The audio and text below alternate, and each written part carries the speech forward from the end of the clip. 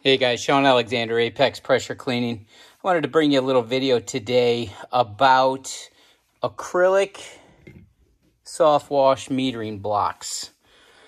I've had a couple people lately, either in the comments of the videos or they'll actually just call the shop asking about these acrylic metering blocks.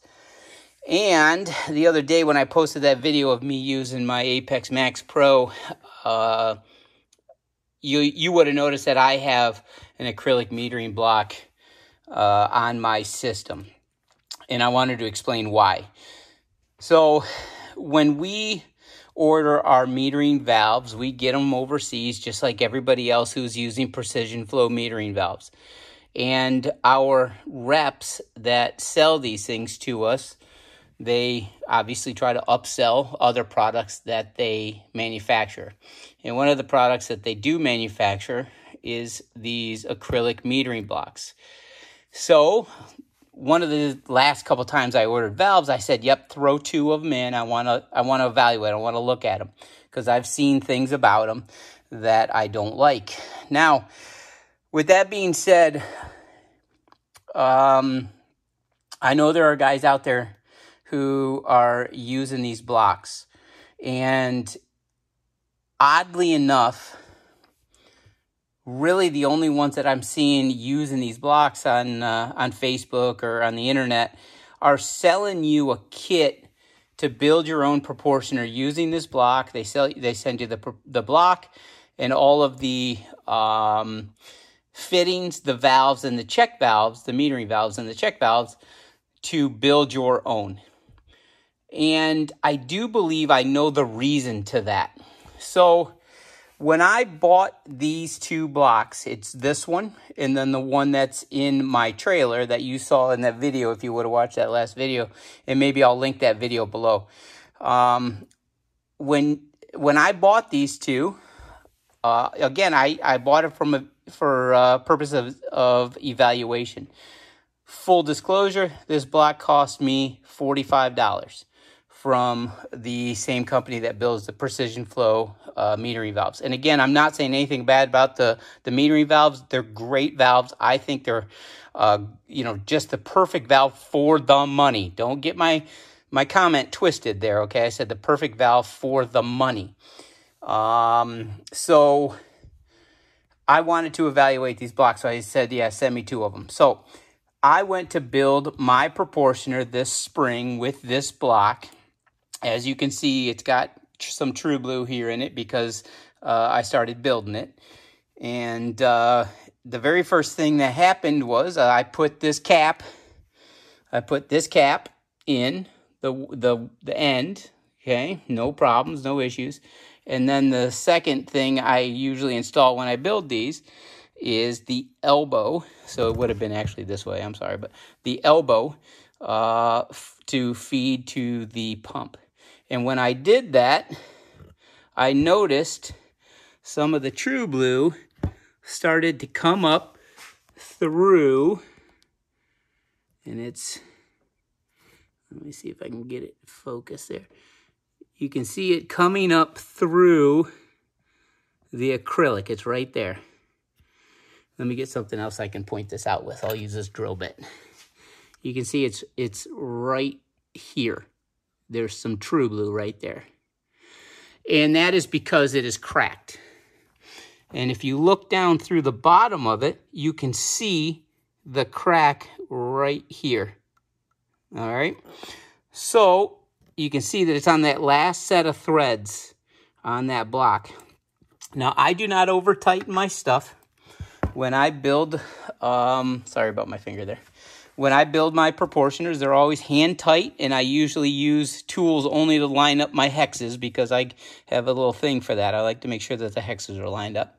But I don't over tighten my stuff. Now, I don't want to throw out any names here because uh, I don't know these guys personally, but down in Florida, I do believe there is a company called Cigar City Soft Wash who also uses these precision flow metering valves. And I noticed on their website, and I believe you can go to Cigar's website. And again, shout out to Cigar City Wash. I don't know you, but I think you're a fine company. Um, they have stopped using the acrylic blocks uh, that they've been getting from the makers of the precision flow valves. And it's because of the cracking issue and the failure of the company to stand behind it. Now, again, I ordered two. I'm able to take the $45 loss. I don't care. In fact, posting the video here, I will probably make up that $45 without any issues.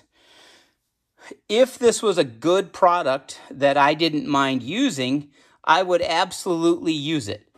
But I don't feel, and again, you can see that crack living right there. I don't feel that it's a good product. And I don't want to badmouth anybody who is currently selling these, but I just want to caution anybody who is going to buy a quote do it yourself kit using one of these acrylic blocks. Um, be very, very careful when you assemble your proportioners. Now, a rule of thumb that I like to use is whenever I'm building a proportioner and I'm using plastic, otherwise known as polypropylene, I just call it plastic. I'm going to use those two terms synon- uh, yeah, synonymously. So um, I use True Blue thread sealant on those. Anything that involves plastic. So if it's going plastic to plastic, I use True Blue. If it's plastic to metal, I use True Blue. However, let me come over here because I have some. If I'm going metal to metal, I will use tape, either Teflon tape or PTFE, whatever you want to use.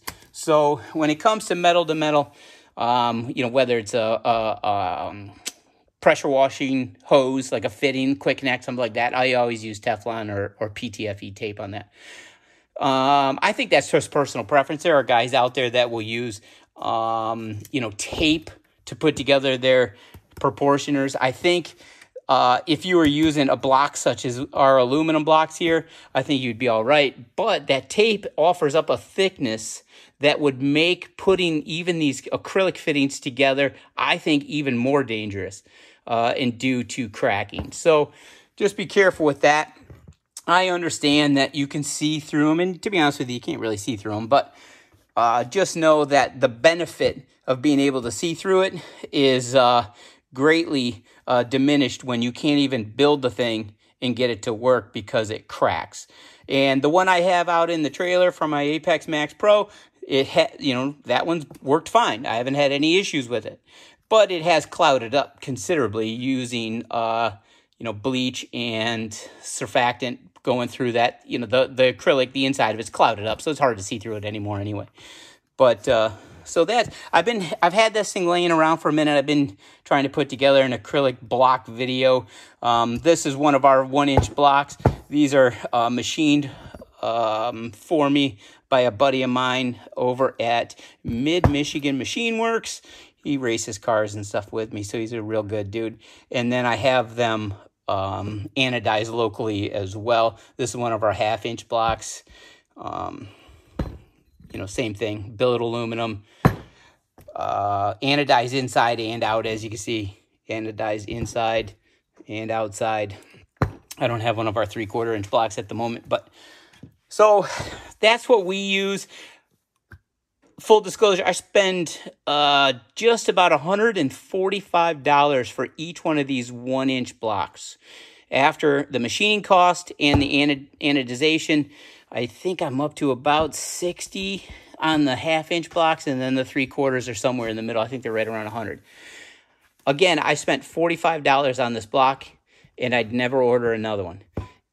So let that just be a little bit of information um, on the acrylic uh, metering blocks. There are some guys out there using polypropylene blocks. I think those are probably going to be fine. Uh, no issues. I, I actually, the polypropylene blocks um, are probably good to go. Uh, eat, you know, they uh, to mount those. You know, we obviously have mounting holes in ours, so you can mount the block to something. Uh, I think that would be the way to go. Um, either aluminum like ours or the polypropylene. So these acrylic ones, in my opinion, I would say no.